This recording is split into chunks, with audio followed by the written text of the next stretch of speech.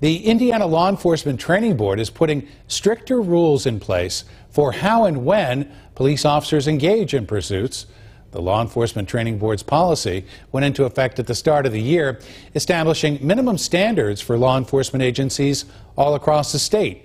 New factors will be considered, including the level of danger posed by the fleeing driver and traffic conditions. The overall concept is does does the outcome outweigh the consequences? And, and, I think that's the million dollar question that we all, as police officers and administrators, have to make that determination. Keep in mind, most agencies have their own policies. The new rules provide uniform guidance throughout the state. Well, today marks the